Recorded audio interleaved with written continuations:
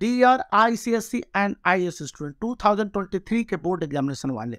मैं इस विषय पर वीडियो बनाने से बचता रहा हूँ पिछले सात से आठ महीनों से, क्योंकि यह काफ़ी सेंसेटिव पॉइंट वाला वीडियो हो जाता है, लेकिन अभी के समय में जो इन्फॉर्मेशन मिला और बीइंग अ क्लास टीचर कहा गया कि आप इस विषय पर अपने क्लास के सभी स्टूडेंट के साथ कंफर्म कर लीजिए, क्योंकि ये गलती आगे चल के स्टूडेंट के लिए काफ़ी अहितकर।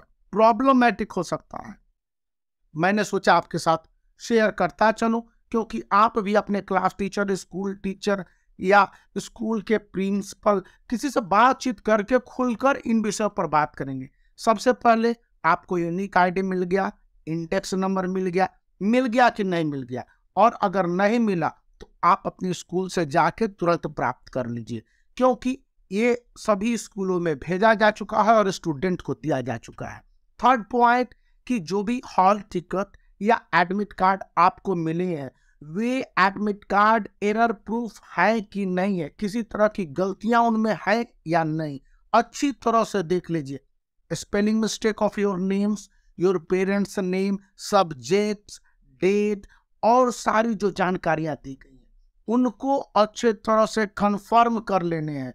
क्योंकि अभी के समय में अगर किसी तरह के मिस्टेक्स होते हैं तो जिस तरह से मार्क्स अपलोडिंग का काम चल रहा है और बहुत तरह के वेरिफिकेशन के लिए सी का पोर्टल और स्कूल का कनेक्शन बहुत ही ज़बरदस्त है, जुड़ा हुआ है। बहुत आसानी से इस समय आपके एरर करेक्शन हो सकते हैं।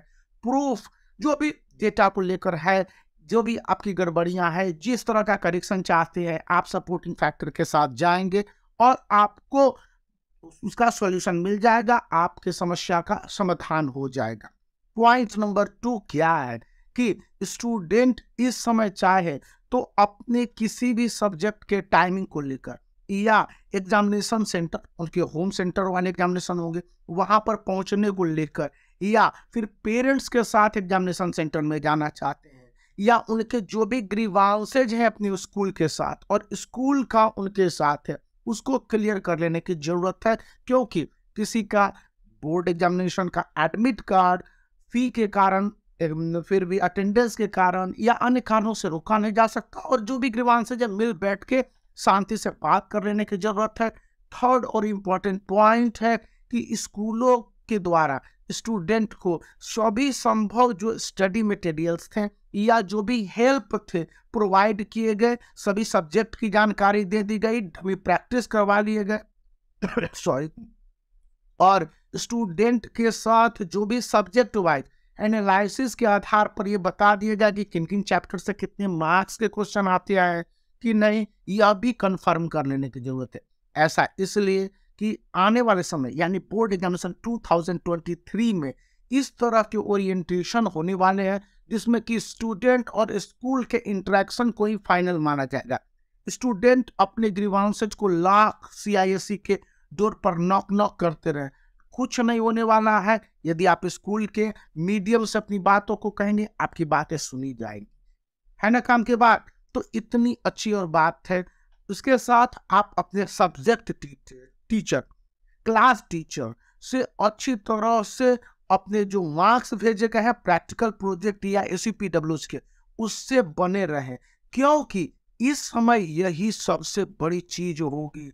यदि स्कूलों ने थोड़ी सी मिस्टेक या गलती कर दी तो आप ये जान लीजिए कि आपके मार्क्स कम हो जाएँगे और पीछे आपकी बातों को कुछ नहीं सुना जाएगा। बहुत सारे पेरेंट्स मेरे पास आते हैं, बहुत सारे स्टूडेंट एग्जामिनेशन के बाद दौड़ते रहते हैं और उनका कुछ नहीं होता है। यहाँ पर मैं बहुत बार बार नेगेटिव ना, नहीं जैसे शब्दों का यूज़ इसलिए कर रहा हूँ कि बी अलर्ट बी कॉन्सियस अभी के समय में आपके सारे ऑप्शन खुले हैं। मार्क्स को सीआईएससी को भेजा गया है। कई तरह के करेक्शन भी हो रहे हैं। या आप अपनी बातों को रखेंगे, जो भी इंटरनल असेसमेंट पीरियोडिक और एक्सटर्नल वगैरह आए हैं, आपकी कॉपीज को लेकर ये सारी बातें सॉर्ट आउट हो जाएँगी।